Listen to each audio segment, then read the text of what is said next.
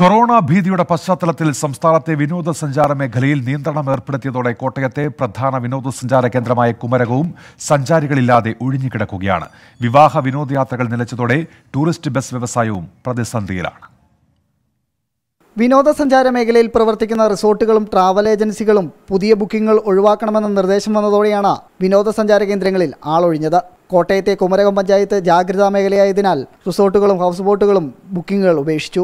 ആരോഗ്യവകുപ്പിന്റെ ഒരു സർട്ടിഫിക്കറ്റ് ഇല്ലാതെ ഗസ്റ്റിനെ ബോട്ടിലേക്ക് അലോഡ് ചെയ്യാൻ പറ്റില്ല എന്നുള്ള രീതിയിലേക്ക് പോയപ്പം തൊഴിലാളികൾ ഇപ്പം എല്ലാവരുടെ രീതിയും പരിതാപകരമാണ്. ആ രീതിയിലേക്ക് പോകുമ്പം പല പലരെയും ഇപ്പം പുറത്തു നിർത്തിക്കൊണ്ടാണ് ഇപ്പോൾ കാര്യങ്ങൾ നടക്കുന്നത്. വിനോദ വിവാഹ യാത്രകൾ കുറഞ്ഞതോടെ ടൂറിസ്റ്റ് ബസ്സുകളുടെ ഓട്ടവും നിലച്ചു. വരുമാനമില്ലാതായതോടെ മൂന്ന് മാസം കൂടുമ്പോൾ അടയ്ക്കുന്ന നികുതി ഒഴിവാക്കി നൽകണമെന്ന് കോൺട്രാക്ട് ഗാരേജ് ഓപ്പറേറ്റേഴ്സ് അസോസിയേഷൻ ആവശ്യപ്പെട്ടു. ഞങ്ങൾക്ക് മൂന്ന് മാസത്തെ ടാക്സ് ഇളവ് ചെയ്ത് കിട്ടണം.